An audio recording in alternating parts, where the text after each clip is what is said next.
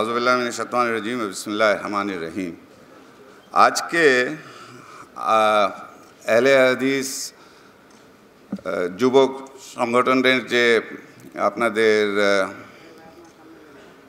কর্ম কর্মী সম্মেলন দু হাজার উনিশে, আমাকে প্রধান অতিথি করার জন্যে আমি প্রথমে আপনাদেরকে আন্তরিক ধন্যবাদ জানাচ্ছি।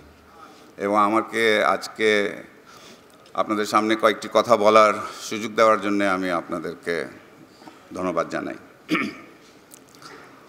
আপনারা জানেন যে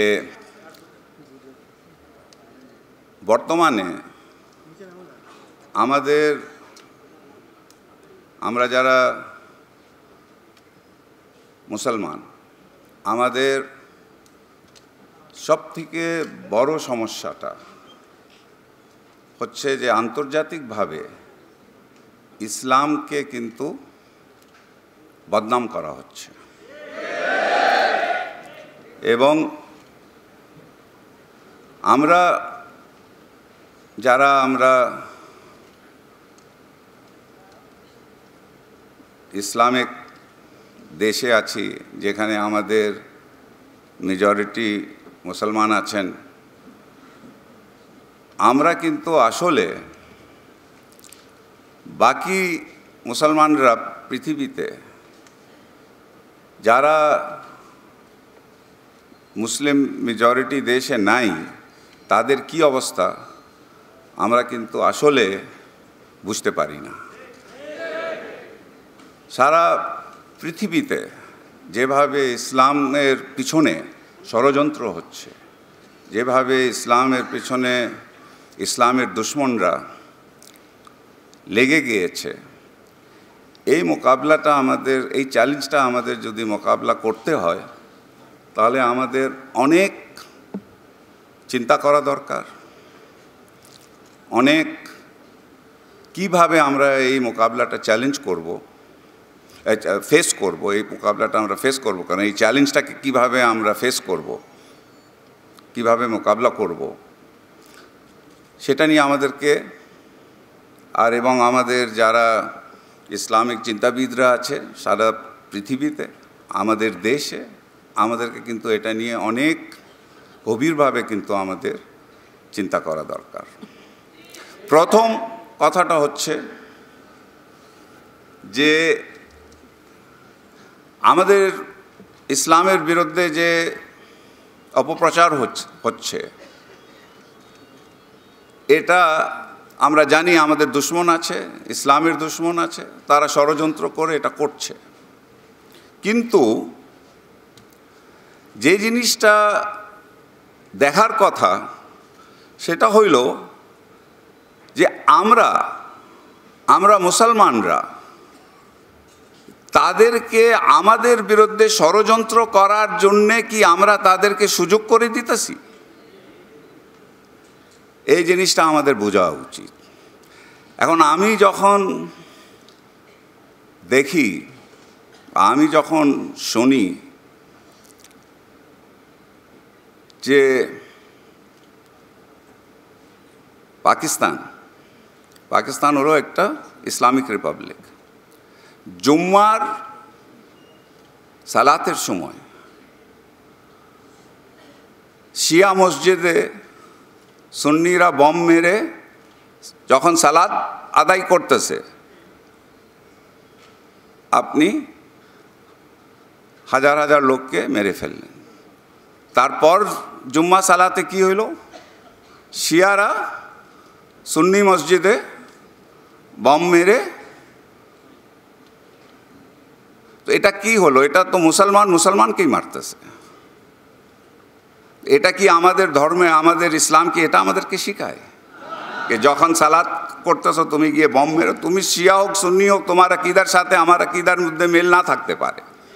তার মানে আমি গিয়ে তোমাকে মেরে ফেলব? আর তাও কখন? যখন তুমি সালাত আদায় করতেছো। এখন বলা হয় যে ইসলামী জঙ্গিরা সারা পৃথিবীতে অমুসলিমকে আমরা অনেক অমুসলিম ইসলামিক জঙ্গিরা মেরে ফেলেছে। কিন্তু আসলে যদি হিসাব করে দেখেন, তাহলে মুসলমান সব থেকে বেশি মুসলমানকে মেরেছে। অমুসলিম, এই যে জঙ্গি বলা হচ্ছে সারা বাংলা, সারা পৃথিবীতে ইসলামিক জঙ্গির বিরুদ্ধে যে একটা ইলজাম আনা হচ্ছে, অভিযোগ আনা হচ্ছে, আপনি হাতে গুনতে পারবেন কয়জন অমুসলিম গত দশ বছরে মারা গিয়েছে। যখন অমুসলিম মারা যায়, তারা কিন্তু এক একজন গুণে তারা কিন্তু বলে কে হ্যাঁ আমার এই এই ঘটনাতে এত লোক মারা গিয়েছে। সেটার হিসাব আছে।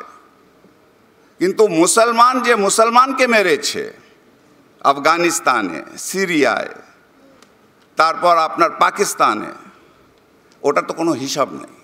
অনেক বেশি গুণ সেটা হয়েছে। সেটা কারণটা কেন? কারণটা কি? তো সবাই বলে, আমি যখন এই প্রশ্নটা করি, তখন বলা হয় কেন এটা তো ষড়যন্ত্র। আমার দুশ্মনরা ষড়যন্ত্র করে এই ঘটনাটা ঘটাইতেছে। বিশ্বাস করলাম, ঠিক আছে, ভালো কথা। সে তো আমার দুশ্মন। সে তো আমার বিরুদ্ধে ষড়যন্ত্র করবেই। সে তো আমার ক্ষতি করতে চায়। প্রশ্নটা হচ্ছে, আমি কি তাকে সুযোগ করে দিচ্ছি? আমার দায়িত্বটা কি? আমার দায়িত্বটা হলো, সে আমার বিরুদ্ধে ষড়যন্ত্র করবে, সে আমার ক্ষতি করার চেষ্টা করবে। আমার আমার দায়িত্বটা কি? আমার কর্তব্যটা কি? যে আমি যেন সে না করতে পারে, সেটার পদক্ষেপগুলি আমি নেব। সেটা কীভাবে আমরা করতে পারি? সেটা একটাই পথ আছে। আমি কিন্তু বিশ্বাস করি তারা, যারা ইসলামের দুশ্মনরা, যারা আমাদের বিরুদ্ধে পৃথিবীতে ষড়যন্ত্র করতেছে, তারা আমাদের একটি সবথেকে বড় দুর্বলতাটা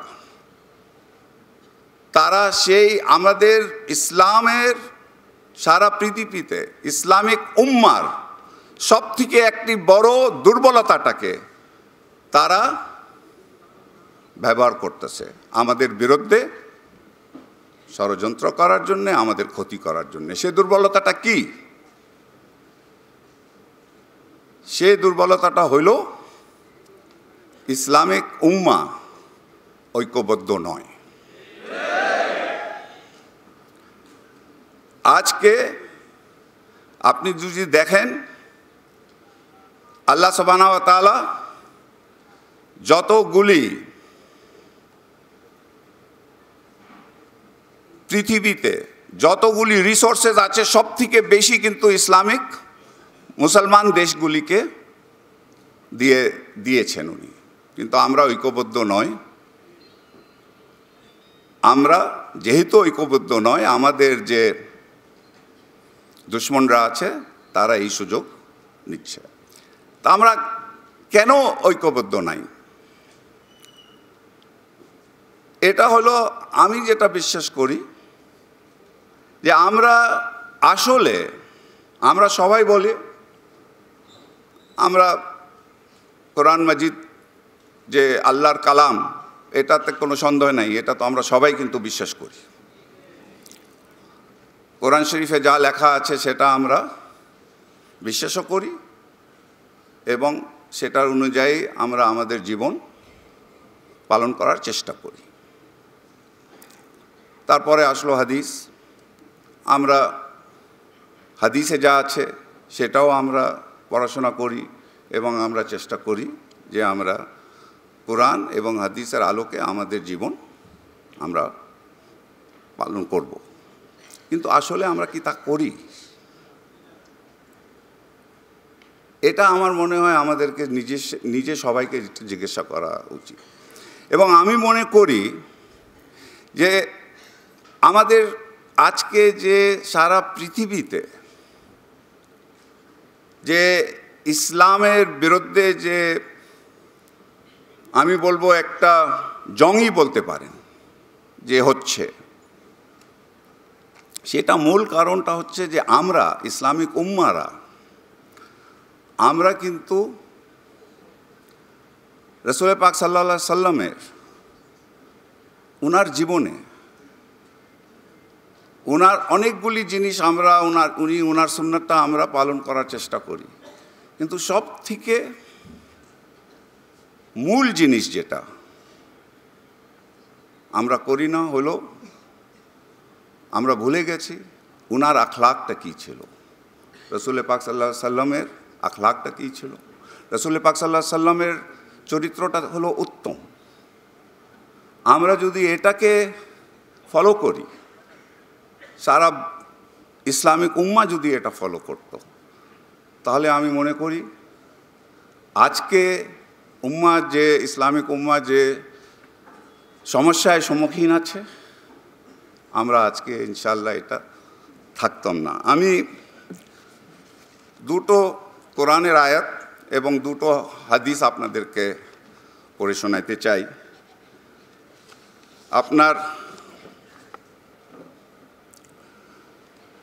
কোরআনে আপনার বিশ্বনবী হাজরত মোহাম্মদ সাল্লা সাল্লামের চরিত্রের প্রশংসা করে আল্লাহ তালা আল্লাহ সবানা তালা বলেছেন, সুরা কালাম আয়াত চারে, ওয়া ইন্নাকা আলা খুলকেন আজিম হে নবী, অবশ্যই আপনি মহান চরিত্রের অধিকারী।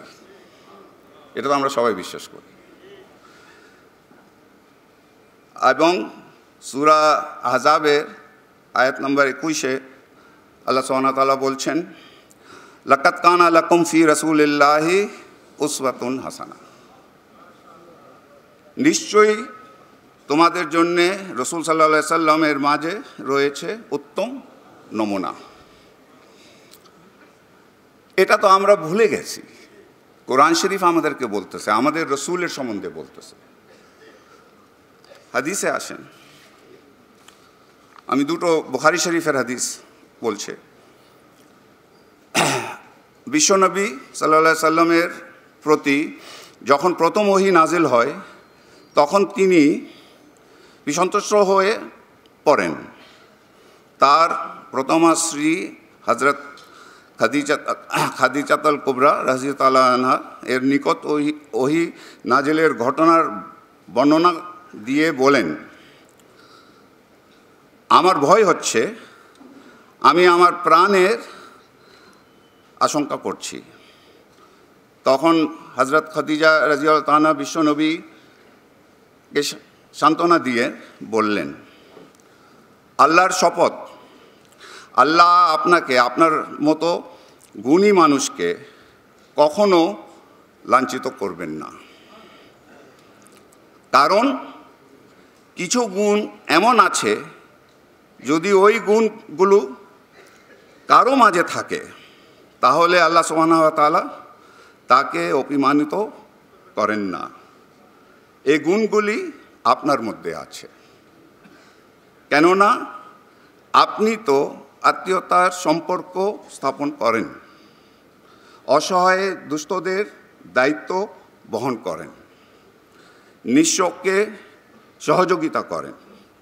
মেহমানের আপ্যায়ন করেন এবং হক পথে বিপদগ্রস্তদেরকে সাহায্য করেন।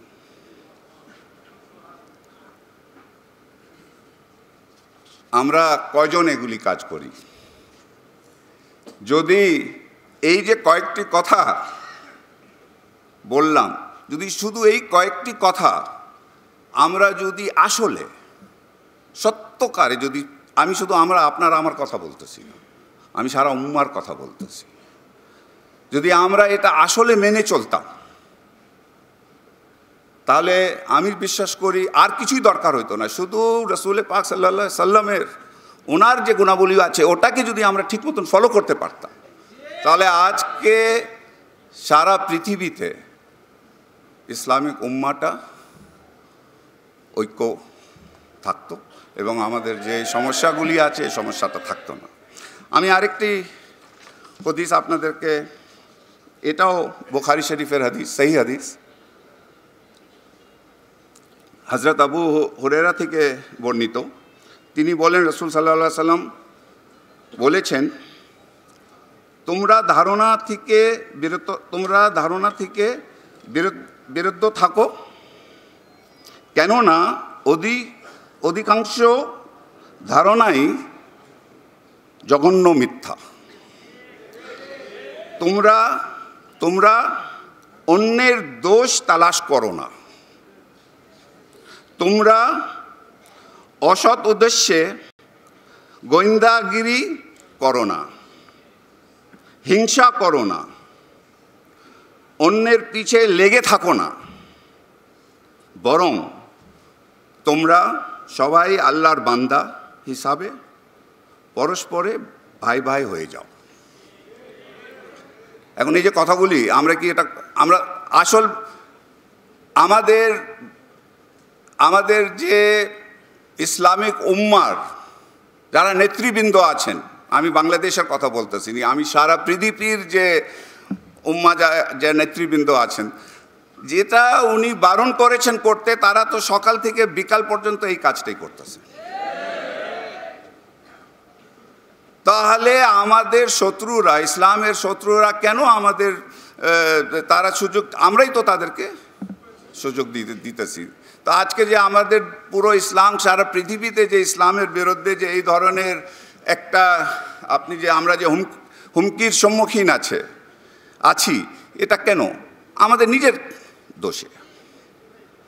তো আমি এই কথাগুলি বলতে চাইছিলাম যে আমরা আপনাদের, যেহেতু এটা যুবকদের সম্মেলন আপনাদের এখন দায়িত্ব যে আপনারা এখন আপনাদের যারা আপনারা এই কথাগুলি আপনারা সবাইকে বলবেন আপনাদের যারা নেতৃবৃন্দ আছেন, তাদেরকেও আপনারা বলবেন কি, এই যে রসুল পাক সাল্লাহ সাল্লামের যে হাদিস আছে, এটাকে ফলো করার জন্য আপনারা সবাই এটা ফলো করেন। আমরা সবাই যদি এই কাজগুলি করি, এই কয়েকটি কাজ যদি আমরা করতে পারি, আমি আমি কিন্তু বিশ্বাস করি, আমাদের ইসলামের ইসলামিক উম্মা সারা দেশে, সারা পৃথিবীতে ইসলামিক উম্মার যে সমস্যাগুলি আছে, প্রত্যেকটি সমস্যা কিন্তু ইনশাল্লাহ আমাদের সমাধান হবে। আমি এখন একটু আমাদের দেশের সম্বন্ধে একটু কথা বলতে চাই। আপনাদের সম্বন্ধে আপনাদের অনেকগুলি প্রস্তাবনা দেখেছি। আপনারা যে, প্রথম আপনাদেরকে আমি বলতে চাচ্ছি যে, আপনারা জানেন যে, একটি সরকারের প্রথম দায়িত্বটা হইল যে তার দেশের নাগরিকের যে বেসিক নেসেসিটিগুলি আপনার খাদ্য, চিকিৎসা, তারপর ঘর বাড়ি শিক্ষা, এগুলির কিন্তু নিশ্চিত করা। তো আপনারা জানেন, আপনারা তো এখন অনেক এখানে তরুণ আছেন, যুবকরা যারা আছেন। আমি যখন আপনাদের বয়সে ছিলাম, আমি যখন আপনাদের মতন তরুণ ছিলাম, দেশটা স্বাধীন হয়েছিল।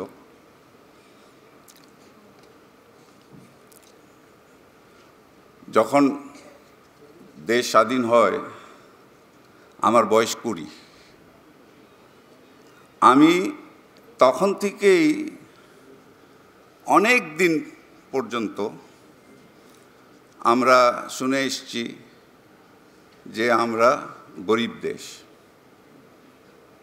আমাদের অনেক সমস্যা আছে। আমাদেরকে বাইরে গিয়ে যদি ভিক্ষা আমরা না পাই, তাহলে আমরা কিন্তু টিকতে পারব না। এবং মাত্র তিন বছরের জন্যে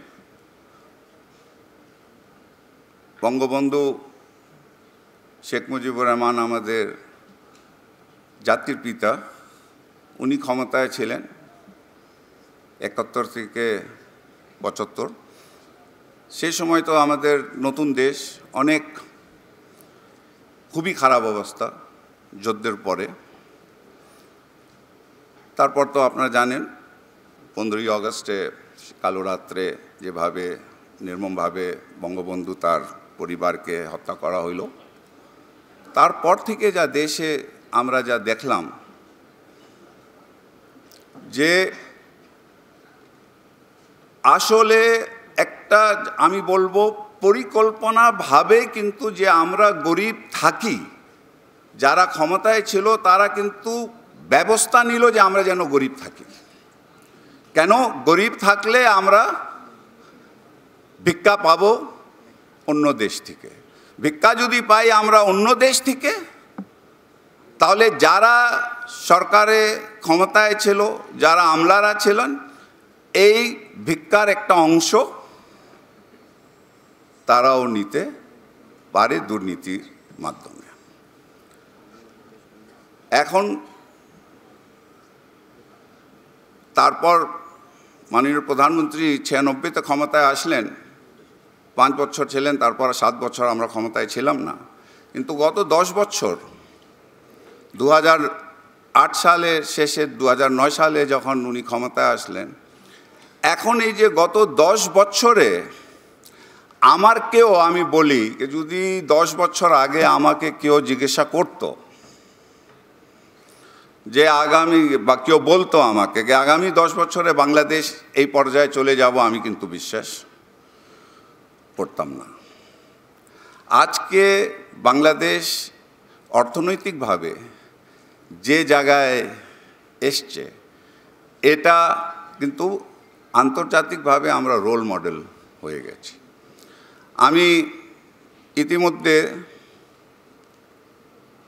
মাননীয় প্রধানমন্ত্রীর সাথে আমার সুযোগ হয়েছে। আমি প্রথম ব্রুনাই গেছি ওনার সাথে।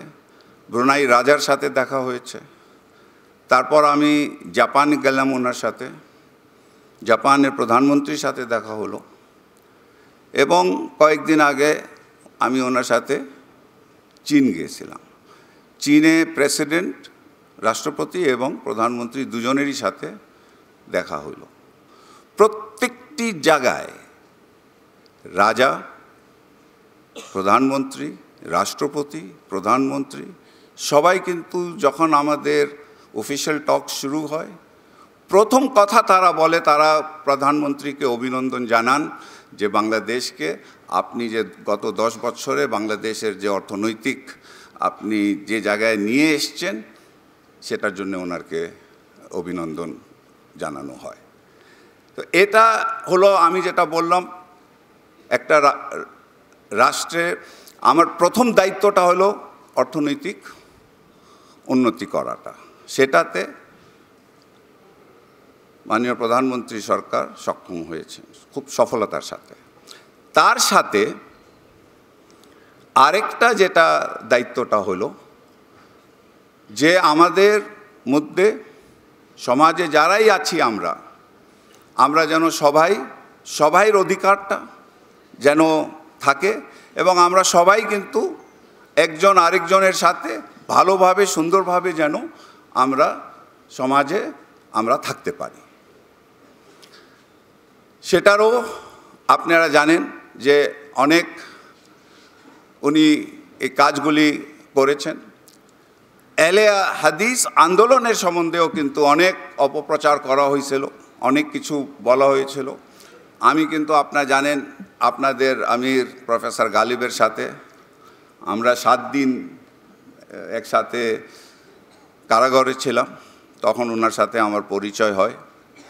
এবং ওনার সাথে কথা বলার পরে আমি যখন বের হইলাম ওনার অনেকগুলি সমস্যা ছিল, তখন আমি বের হয়ে আমি মাননীয় প্রধানমন্ত্রীকে বুঝাইলাম যে এলে আদিস আন্দোলনের সম্বন্ধে যে অপপ্রচার আছে, এটা ঠিক না। আমাদেরকে এটা এটা ওনাদেরকে ভুল বোঝা বুঝি হচ্ছে এটাকে আমাদের ঠিক করে দেওয়া দরকার এবং সেটা আলহামদুলিল্লাহ আমরা করতে পেরেছি। তো আমি যে কথাটা বললাম একটু আগে যে আমি আপনাদেরকে কথাটা বললাম। যে যদি আমরা রসুল পাক সাল্লা সাল্লামের হাদিসটা যদি আমরা ফলো করি, উনি যে কথাগুলি বলেছেন, যদি এটা আমরা আসলে মন দিয়ে যদি আমরা এটাকে যদি বাস্তবায়ন করি, তাহলে কিন্তু এই সমস্যাগুলি সব সমাধান হয়ে যাবে। আমি আপনাদেরকে আজকে যে আপনাদের প্রস্তাবগুলি দেখেছি আমি, আপনাদেরকে আমি অভিনন্দন জানাতে চাই।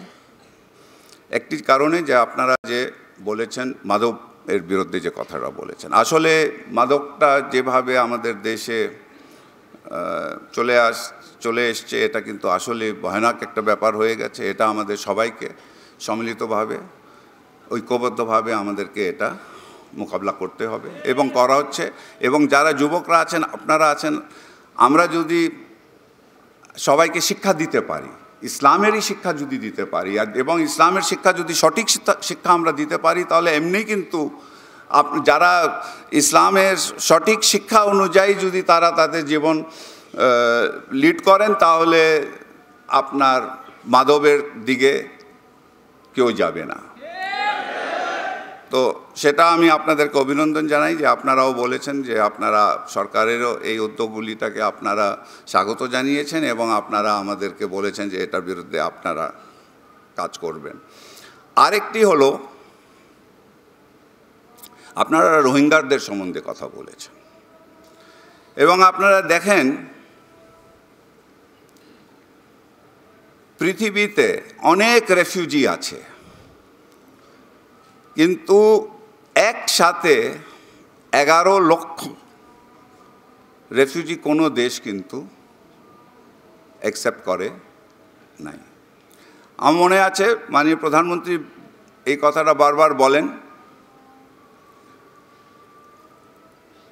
যে ওনার ছোট বোন শেখ রেহানা বললেন ওনাকে, যখন এই রোহিঙ্গারা আসতেছিল এবং আমরা প্রথমে বললাম, কেনা আমরা আসতে? দেব না। তখন ওনার ছোটো বোন শেখ রেহানা ওনাকে বললেন যে, তুমি ষোলো কোটি মানুষকে খাওয়াইতেছ, তো তুমি আর ষোলো লক্ষ লোককে খাওয়াইতে পার, আর এক দশ লক্ষ লোককে তুমি খাওয়াইতে পারবা না। এরা যাবে কোথায়? এরা তো অসহায়, এদেরকে তো আমাদেরকে নিতে হবে। এবং উনি বলছেন, এই কথা বলার পরে আমি কিন্তু পারমিশন দিলাম কিনা, ঠিক আছে, ওদেরকে আসতে দাও।